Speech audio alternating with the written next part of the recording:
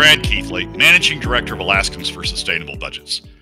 Welcome to the weekly top three, the top three things on our mind here at Alaskans for Sustainable Budgets for the week of December 3rd, 2018. The weekly top three is a regular segment on the Michael Dukes Show. I join Michael on the show each Tuesday morning from 6:20 to 7 a.m. for a discussion between the two of us about our three issues. The show broadcasts on Facebook Live and via streaming audio from the show's website weekdays from 6 to 8 a.m. We post the podcast of our discussion following the show on the Alaskans for Sustainable Budgets Facebook, YouTube, and SoundCloud pages, and on my website at bgkeithley.com. You can find past episodes of the weekly top three also at the same locations. Keep in mind that in addition to these podcasts, during the week, you also can follow and participate in the discussion with us of these and other issues affecting Alaska's fiscal and economic condition by following us on the Alaskans for Sustainable Budgets Facebook page and through our posts on Twitter.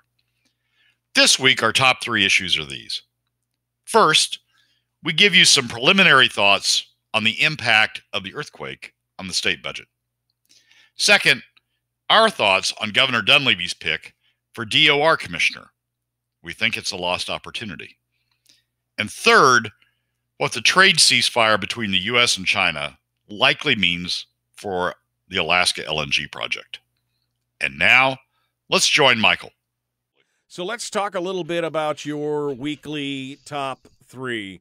Uh, you've got some interesting stuff to start with. And of course, uh, first and foremost, since we're talking about the quake, let's talk about the effects of the quake, the aftermath, the rebuild, the the cleanup, and everything else. What does that mean for us uh, as regards to the Alaska state budget? That's going to be your number one for your weekly top three. Well, it's early days, certainly, about uh, uh, both the assessment of what the damage is going to cost uh, to government as well as how we're going to pay for it. But there's a few things that that we can sort of have in mind, uh, uh, both from you know lo- looking at how our budgets are constructed as well as looking at you know other states and how they've dealt with uh, with these sort of things. We do. We're going to have significant cost to government. Uh, the schools, we've been talking about the damage to the schools, or you've been talking about the damage to the schools, uh, both in the Anchorage School District and in the Mat-Su School District. Certainly, we have uh, highway disruptions uh, in various locations, uh, some bridges, some overpasses, as well as as the highways themselves. Um, the University of, of Alaska Anchorage uh, was has been closed. Uh, there, I've seen some preliminary pictures of damage there. Um, so there's going to be uh, some some costs arising. Certainly, some costs arising out of that. The railroad uh, looks like it's getting back up and running, but uh, it's going to have to deal with uh, with some uh, some issues. Has already dealt with some, um, and is going to have to deal with others, and those are going to need funding. And then we start getting that's before we even start getting down to the municipalities, right? Uh, and the and the economic or the the cost of of their uh, the issues that both the borough of Anchorage and the Mat-Su borough uh, are going to face uh, uh, separate and apart from uh, from the cost of schools and uh, and and and the road system. So there's a there's a number of places that uh, the costs are going to come from, um, and and you can you I can sort of see somewhere somebody's starting to tick up what the what the cost is, of that is going to be, and of course uh, there's going to be a lot of pressure to uh, do these things quickly and to you know sort of don't spare the cost on getting our schools back up and running don't spare the cost on getting the the bridges and highways back up and running. I'm certain there's going to be that sort of same sentiment about the university. Uh, and certainly there's going to be that same sort of sentiment about the railroad. So there's going to be, I mean, the, the costs are going to be already are, uh, are, are running up. Two probably big um, uh, funders. One, uh, we, we hope it's going to be as big as it can be, uh, is the federal government uh, through emergency funding and through federal assistance for uh, uh, for the earthquake response and for dealing with the costs that that arise. Um, federal funding, special federal funding for um, natural disasters um, certainly is is something that uh, happens and has happened in other na- uh, natural disasters. um, the hurricanes that have hit uh, Houston, the hurricanes that that hit uh, uh, New Jersey and elsewhere on the East Coast, the recent, more recent hurricanes that have hit the Carolinas, uh, all have uh, had substantial federal assistance uh, in dealing with some of the cost of those.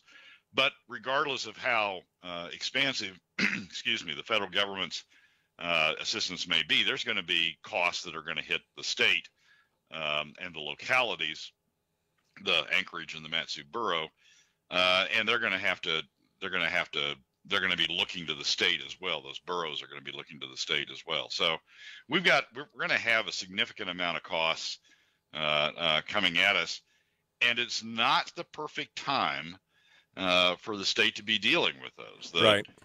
Yeah. The the the traditional when you've asked people in sort of you know drills. Uh, in the past, uh, desktop drills, where the funding would come from from the state, has been the CBR, the Constitutional Budget Reserve. Um, you know, it's it's a savings pot that that that you know people have said is there and, and will be there to to help us deal uh, help us deal with situations like this.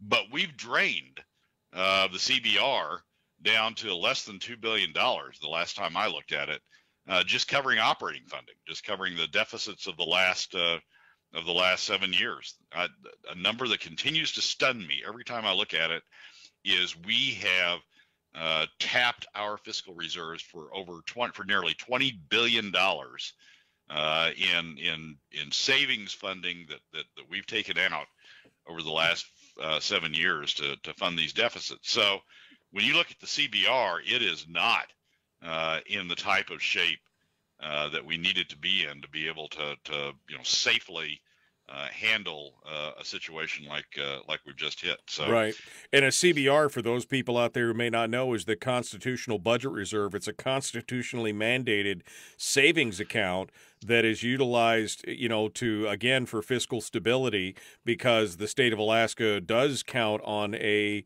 very volatile revenue, oil uh, source for for revenue is oil. Uh, and uh, and that's what it's that's what it's there for is to try and even out the highs and the lows but instead it has been kind of drained dry. Yeah, it's it's it's down as I as I say uh, uh, at at very low levels, below two billion dollars. Uh, we we owe something like twelve billion dollars to it, back to it. Uh, it. Under the Constitution, it's we have an obligation to repay it, and we owe about twelve billion dollars. Out of that $20 billion, $12 billion has come from the CBR, and we owe it about uh, twelve billion dollars to pay back for uh, the deficits that, that we've covered by draws from the CBR over the over the last seven years. So we're not we're not looking at a at a full fiscal cupboard, if you will, uh, to be able to to handle uh, uh any significant costs that that hit the state uh, arising out of this. That's going to affect. I mean, that's going to affect the localities. It's going to affect the schools who otherwise who, who want to be looking to the state uh, to help uh, cover some of these costs. It's going to affect the university who wants to look to the state to help some of these costs. The railroad uh, is a state corporation and it runs on a fairly thin margin. Uh, and if it has significant uh, uh, capital costs as a result of that, it's going to be looking to the state and certainly the localities. the Anchorage borough and or, and the Mat-Su borough, no doubt, will be looking to the state for supplemental funding. So with the CBR drain, that really leaves uh, two places to be looking at. One is bonding, uh, going out with uh, bonds that would tap the, the, the financial markets uh, uh, with loans essentially uh, into the state to help cover some of this stuff to be paid back over the next 10, 15, 20 years, whatever the term of the bonds might be. Um, and then the second place that, that people are going to be looking to is to the earnings reserve account, the good old right. earnings reserve account, right? Which is under the Constitution can be appropriate. It's a part of the part of the permanent fund, but under the Constitution, it's a part that uh, that can be uh, tapped by the uh, legislature and, if signed by the governor, um, appropriated funds out uh, to uh, to cover the, the the problem with the with the ERA, and we've talked about uh, this on the show repeatedly, and we'll keep talking about it. the problem with the ERA is it's that money is invested as part of the permanent fund of the roughly 60 some odd billion dollars we've got in the permanent fund roughly a third of that uh, 15 to, to 19 billion, depending upon you know the point of time that you pick it. Uh, a fourth to a third of that is uh, is in the earnings reserve account. So if you if we start using the earnings reserve account as yet another piggy bank, um, we're gonna it, will reduce the investment base, and the impact of that is to reduce first future earnings, and the impact of that is to reduce uh, future permanent fund dividends and to review uh, to reduce future draws, uh, future money available uh, under Hammond 50/50, future money available to um, uh, to help fund government. So we're we're going to be we're going to be in a fairly tight spot. I, I noticed that Governor Dunleavy, uh, in an interview he did uh, yesterday, uh, was asked by uh, Kyle Hopkins, I believe it was, the reporter from the uh, Anchorage Daily News, uh, about the governor's promise during the campaign to pay back past PFD cuts. Uh, and and Governor Dunleavy doubled down, said yes, that's his intent. And Kyle asked where the funding was going to come from, and and Governor Dunleavy said the earnings reserve account, which as we've talked about on the program before, is going to lead to future PFD cuts. Uh, we're just kicking the cost of these deficits we've run uh, down the road to uh, to future Alaskans. Uh, and if we're if, if we're looking to the ERA for that, we're going to be looking to it for uh, for help uh, funding these uh, the costs of the earthquake, um, and and we're going to have a, a, huge debate, I think, this coming spring about about whether we were you know whether we ought how how much we ought to be tapping the the earnings reserve account, what the consequence of that, if it's fair for this set of Alaskans, this gener- generation of Alaskans to be draining the earnings reserve down, uh, and uh, at the cost of future Alaskans. Uh, the earnings, the the permanent fund is there to treat all generations fairly, uh, and to treat and to treat all generations equally. And to the extent this just generation starts just taking money out of the investment base, taking money out of the earnings reserve, we're doing it at the expense of future Alaskans. And, and I think there's going to be quite a bit of a debate about that. But some of it, some of it may be unavoidable, uh, depending upon how high uh, these costs are going to be. And right. uh, and and you know that's since we've drained the CBR, that's about the one source of of readily available funds that we've got. Uh, uh, to help cover these costs. Brad Keithley's our guest, Alaskans for Sustainable Budgets here on the Michael Dukes Show. I guess the one good side to this is the CBR does require a, a majority draw, a super major, a three quarters uh, majority for the draw. Uh, and I don't think anybody's going to argue about earthquake relief. So there might be, you know, that might be where the money comes from versus the ERA. We don't know at this point. Uh, quick estimate, Brad. What do you think? Are we talking a billion dollars as far as damages and everything else, or oh, you, what do you think? It's, it's way too early to to, yeah. to factor that in. I, I I would not be shocked at the end of this, uh, though, if we're if we're well over a billion dollars. Yeah. I mean, you, you start looking around schools, localities, highways, the university, the railroad. Right. Uh, and I'm sure I haven't thought of half of it. So right, right. Well, we'll we'll have to uh, we're going to have to see about that. That's your number one here. Brad Keithley is our guest. We've run up against the clock. We've got more coming up. Don't go anywhere. The Michael Dukes Show continues with Brad Keithley from Alaskans for Sustainable Budgets. He's here to talk with us about where Alaska is going and what we can do to help keep us on track with a more sustainable uh, situation here. That's all directly ahead on The Michael Dukes Show. Your home for common sense, liberty based, free thinking radio, heard live around the world at michaeldukeshow.com and right here across the state of Alaska on this, your favorite radio station. Back with more right after this.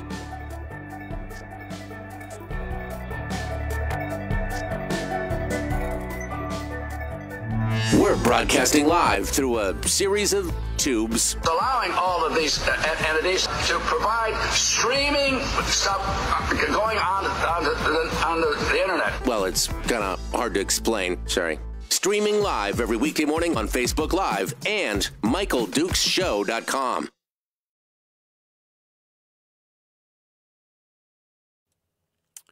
Okay, we're back uh, with Brad Keithley here in the break, getting things ready uh, for the next segment. We'll come up to the number two.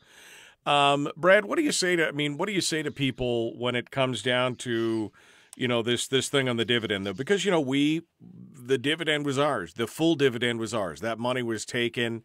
And I understand, you know, logically, I understand what you're saying about not taking, um, you know, robbing from future dividends and everything else. But people have been robbed from already. I mean, they have robbed from the current generation by not giving them their full dividend and damaged the economy and everything else. How, you know, give us, give me some justification on that. Well, Michael, I, have I've looked at the PFD as as we've discussed on the show. I've looked at the PFD as a tax, and and it was a tax for this generation. It was a horrible tax. It was the worst possible tax, regressive tax, hit the middle income and lower income the, the taking of harder. the P, the taking of the PFD is what you're saying, right? Right, yeah. Uh, hit the middle and lower income Alaskans much harder than upper income Alaskans. Worst possible tax you could you could put together. But I've looked at it as a tax on this generation to help pay for a portion, just a portion of the deficits that we've run up. Um, you know, if we've if we've drawn twenty billion dollars down uh, over the last seven years, I mean, those are the deficits that this generation has has has incurred, and we've left uh, we've left that we're leaving that generation or leaving that deficit, excuse me, to future generations. They're the ones who are going to have to refill uh, the CBR. So the CBR is there to uh, to deal with uh, uh, with uh, future problems. Um, and so it, it, this generation has has has had a lot of spending. Our representatives have approved a lot of spending. There hasn't been the revenue to pay for it. We've had these deficits, and I'm one that believes. I, when we, we talk about this when we talk about Congress, I'm one that believes that each generation ought to pay its own way. It ought to it ought to be responsible um, uh, for covering the costs that it that that it inflicts on that that, that it incurs, um, and and leave uh, a better tomorrow to future generations than, or at least the same uh, to future generations than uh, than it found itself. So, I, I view the, the the PFD cuts that we've had uh, the last three years as this generation's frankly small contribution uh, it's about two and a half billion dollars of PFD cuts compared to the twenty billion dollar uh, uh, uh, gap deficit that we've had.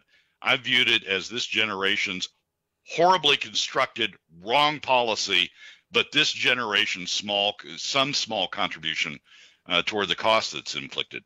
If we pay that PF, those PFD cuts back, if we take that two and a half billion dollars and pay it back, uh, uh, to to the current generation. You know, give it say, you know, we we shouldn't have taken this tax. We're going to give it back to you. We've just moved two and a half billion dollars more. Kick that down the can down the road to future generations that that they're going to have to uh, they're going to have to deal with. And and I just I I think that's from a generational standpoint, which is a lot of what the permanent fund's about generational equity, uh, uh, treating each generation of Alaskans, giving each generation of Alaskans that sort of leg up. Um, I think from a from a generational standpoint, intergenerational standpoint, that's just horrible policy. Um, once you collect, once you, it's a horrible tax. I'm not, I, I can't defend PFD cuts as a tax, uh, the the structure of the tax. But once you tax a generation to cover at least a portion of its costs, it's the cost it's it's incurred um, uh, you shouldn't be giving that back uh, to that generation uh, unless somehow they've generated a surplus, unless somehow they've, they've covered their costs plus a little bit more. And this generation certainly hasn't done that. So I have a problem with with because of because of viewing it as a tax. I have a problem with saying uh, we ought to give that back. Uh, we ought to we ought to rebate that uh, to uh, to the current generation of Alaskans and kick that additional cost down the road uh, to future Alaskans. Brad Keithley is our guest. Uh, Alaskans for Sustainable Budgets. Probably that that thought, although logical, is probably not going to go over well with a lot of Alaskans, especially those that feel like they've been shafted. But at the same time, we're the same Alaskans that have allowed our government to run amok and expand and grow to the point to where this. I mean, this is what they were doing to try and pay for it all. I mean, yeah, we're, exactly. we're, we're going to have to come to. I mean, trust me, I'd be the first guy in line to say I'd like my twenty thousand dollars back because that's what was taken from my family over the last three years was over twenty thousand dollars. I'd love to have that. But at the same time, we have allowed this government to grow and grow and grow and grow and just sat back and said it's somebody else's problem.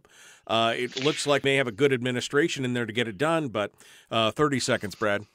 Well, yeah, your your uh, yes, your generation will get twenty thousand dollars back, but it's going to be at the expense of your kids and your grandkids and their grandkids because once once you take that twenty thousand dollars out of the ERA, it's no longer generating earnings. It's gone. It's gone from the investment base. Yeah. And so your your generation, our generation, is going to benefit from that, but it's going to be at the at the expense of your of our kids and our grandkids down the road who will have lower P- PFDs uh, and lower contributions from from the permanent fund to uh, to government Yep. costs.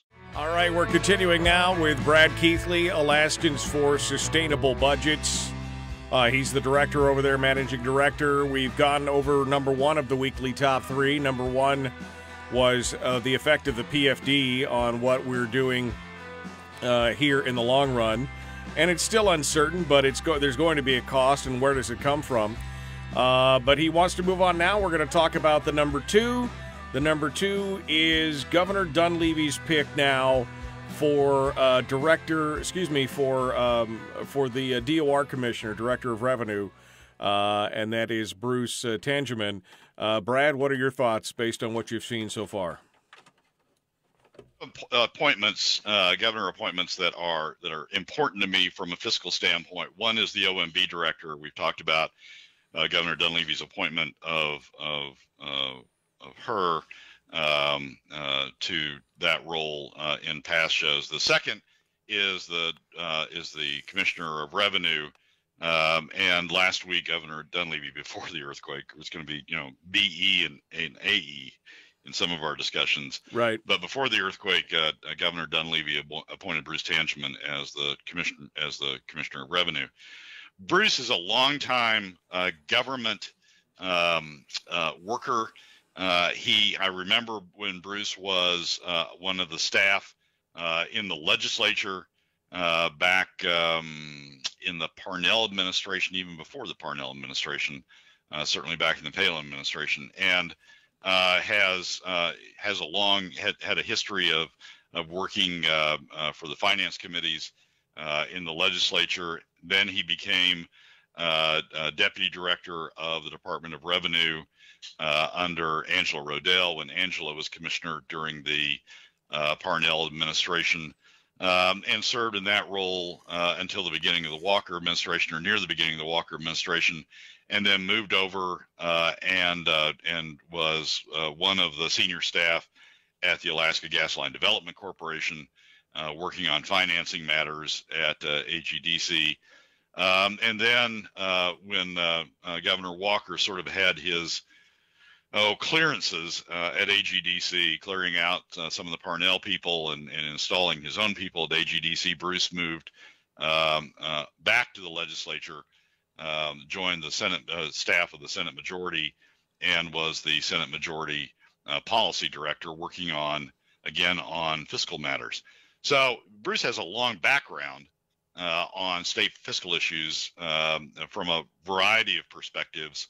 Uh, legislative, executive branch, and um, and and AGDC, one of the one of the uh, important uh, uh, state state-owned corporations, um, and so really is is well has a has a has experience that he can draw on in this role.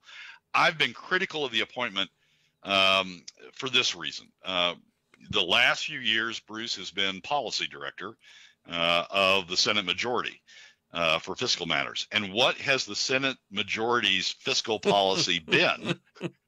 It's been Uh, to continue spending a heck of a lot right. uh, ag- agree to spending uh, more than uh, more than we can afford, uh, agree to continuing to drain the the savings accounts that we're now going to find problematic as we deal with earthquakes earthquake costs, and uh, to cut the PFD, uh, the worst possible uh, uh, uh, uh, tax on Alaskans that we could possibly have had at a time of recession.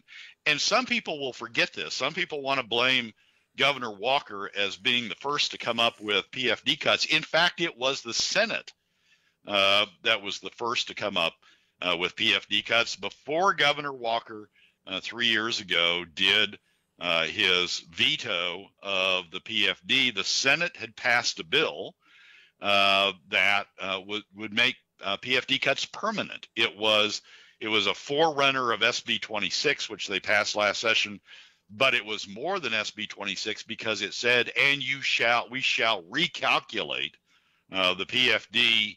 In a way that basically would have cut the PFD from 50% of earnings down to 25% of earnings, um, and under some circumstances, lower even uh, than that. That was that was a Senate bill that had passed the Senate, uh, didn't pass the House right. due to due to you know the work of Lynn Gattis and, and Tammie Wilson uh, and Scott Kawasaki, frankly, but uh, it had passed this passed the Senate, and that was the Senate's fiscal policy. Right. So. So we've got a guy who's coming now into government, coming into a key role, Department of Revenue, uh, a key role who has a history of having worked uh, uh, on on the very type of fiscal policy uh, uh, uh, approaches that have caused the problem we're in and have caused the PFD cuts. Now, some some will defend Bruce by saying, well, he was just carrying out what the Senate wanted, what the senators wanted, and others defend him by saying, well, he's he's a pretty good technician, has all this experience, and he'll just do whatever Governor Dunleavy wants. But but I've been in some of these rooms, right? I mean, the Department of Revenue is not just a, a, a green eye shade accountant who carries out the will of others. He's he's responsible for making advising right? on and in some instances setting policy uh, with respect to how uh, how the state deals with revenue and deals with its uh, with with at least the income side of the of the income statement. Right, right. And, uh, and, and Bruce's Bruce's history on that's just not been anything that I think is something to either consistent with the Dunleavy administration pronouncements or what I think has been good policy. Brad Keithley from Alaskans for Sustainable Budgets is with us discussing the governor's pick for Commissioner of Revenue. So, do you think this is a direct? I mean, is this an even cancellation for uh, Donna Arduin for the OMB budget? I mean, she's the budget hawk. She's the hatchet woman that comes in and cuts, and then you've got the same old, same old business as usual at the Department of Revenue. Um, you know, is it is it an equal cancellation or is this a temporary thing? What you know? I, I think it's a lost opportunity. I think, you know, Dunleavy, Governor Dunleavy ran on preserve the PFD, get spending down, uh, uh, take government off the backs of uh, of Alaskans, and I think there were people out there. I, Lynn Gattis is one.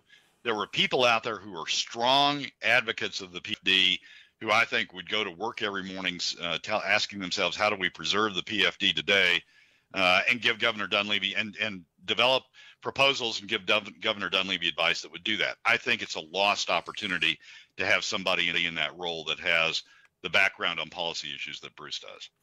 And the biggest thing, of course, is with his track record thus far, and I think you've done a, a, good job here of lining it all out, specifically being on the cutting edge or on the forefront of the PFD cuts and uh, and and you know growing this government. Uh, I mean, what can we do at this point? Well, we, we can't do anything. I mean, uh, Bruce is the governor's appointment, um, and and he'll go to the legislature, and the legislature is a Republican in both bodies uh, now with Bart's win.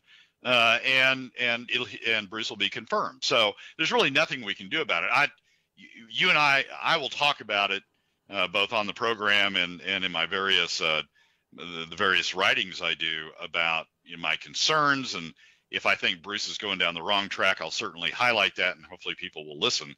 Uh, but uh, Bruce is going to be the commissioner of revenue. We'll just I just think it's a lost opportunity. I think big role major opportunity to get somebody in there that would help uh, you know develop policies that I think are going to further the Dunleavy administration. Would go to work every morning with the right attitude, uh, and I just think it's a lost opportunity. I think it's sort of a a, a zero uh, where we could have you know a plus five or a plus six or a plus ten.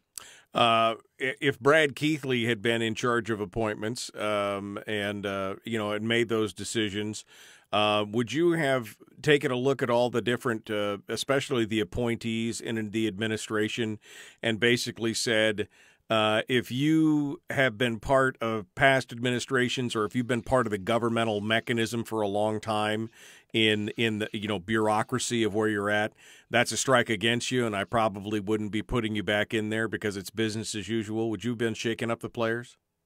I would have I would have been a shaking up player, but I I'm not sure I would have ruled people out solely because they had worked for government. I mean, again, going back to Lynn, Lynn served as a representative uh, for uh, a couple of terms and and and was in government. But I think she came to I think she comes to it with the right attitude about we're going to preserve the PFD.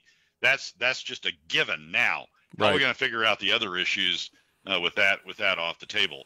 Um, and I think there are people who have that attitude who've been in government that that would have been that would have been uh, a plus. Not, not, it wouldn't have been a lost opportunity. It would have been a gain for the administration. Brad Keithley, Alaskans for Sustainable Budgets, is our guest. Uh, we've done two of the top three. Back into the break now, uh, Brad. Um, I mean, I want to talk about the number three, which of course is the tariff truce. What truce? What does that mean uh, for us? Um, but one of the things that I think, um, uh, one of the things that was said here in the chat room that I thought was uh, was kind of an interesting point was that um, it sounds like when you're going back to talking about the PFD, that you're saying that the um, that the monies that they've taken that that's government monies now, and that you know you and I have talked about that that you don't believe that the PFD is necessarily government money; it's our money. But the way you're talking about it makes it sound like it's government money. You're classifying the PFD as government money. Once it's been taken, it shouldn't be returned at that point. So I just wanted you to address that before we go to the number one. Well, it's, it's like any tax. I mean, a, a, basic, a federal, the federal income tax takes what is our money. Uh, government takes that money and turns it into government money and and spends it.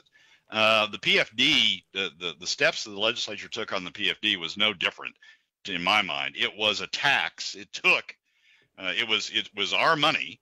Uh, it was it was Alaskans' money. Certainly, do them under the statute, do them under under the philosophy that underlies uh, underlies Governor Hammond's support for the PFD.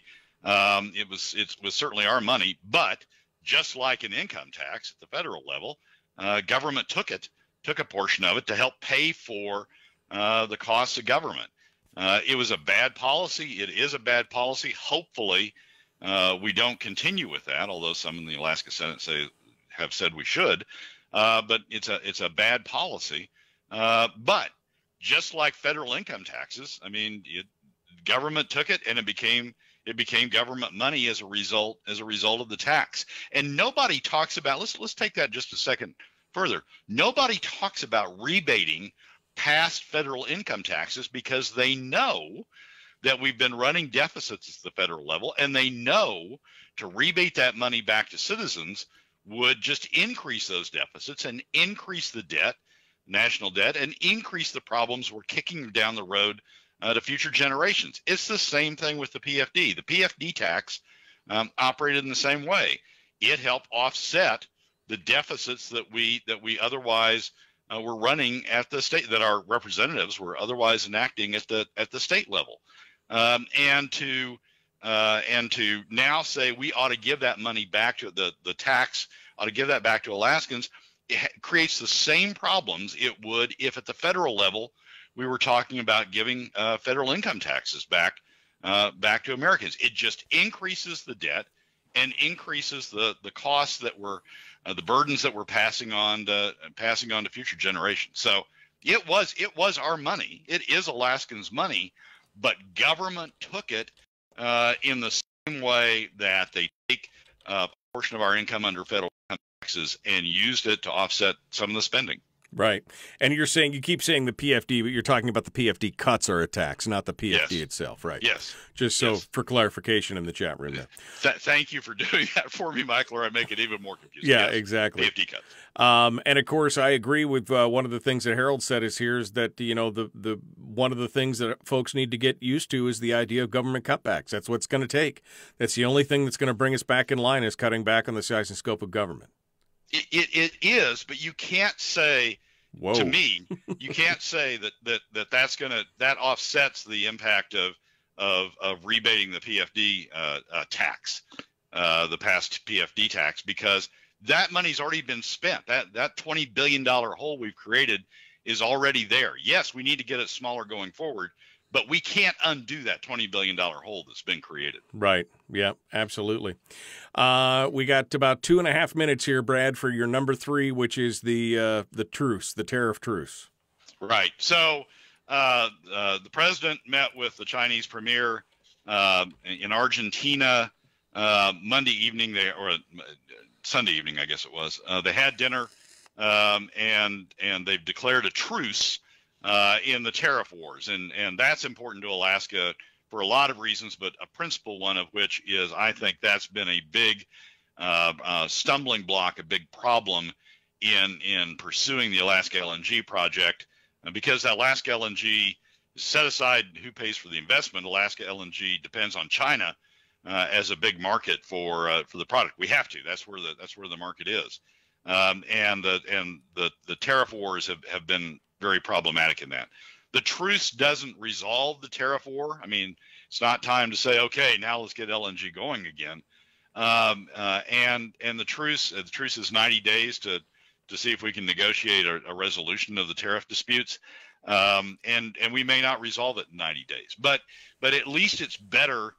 the truce is a positive in the sense that it's better than making the tariff dispute worse. The president was was threatening if we didn't have some sort of uh, rapprochement with the with the Chinese, was threatening to expand the tariffs, expand the goods that the tariffs applied to, deepen the the, the, the amount of the tariffs on uh, on goods that it applied to, uh, and essentially keep going down this road of of enhancing the war. So we've sort of stopped that at least for the moment. Uh, and there's going to be this 90 day negotiation, which will likely take longer, but this 90 day negotiation to try to resolve uh, the tariff dispute. That's a good sign uh, from the standpoint of Alaska LNG. The, the Chinese will likely engage again uh, on on LNG to sort of have it in ready ready mode right. uh, in the event the tariff disputes are resolved. All right. Well, we're going to watch this closely. Uh, we'll see what happens, and we will continue to see how this all shakes out uh, between the Dunleavy administration, the gas line, and everything. Brad Keithley, thank you so much, my friend, for coming on board and talking again today. We will uh, continue to uh, watch this closely. Michael, thanks as always for having me. Well, that's a wrap for another week's edition of the weekly top three from Alaskans for Sustainable Budgets. Thank you again for joining us. Remember that you can find past episodes on our YouTube and SoundCloud pages and keep track of us during the week on Facebook and Twitter. This has been Brad Keithley, Managing Director of Alaskans for Sustainable Budgets. We look forward to you joining us again next week on the weekly top three.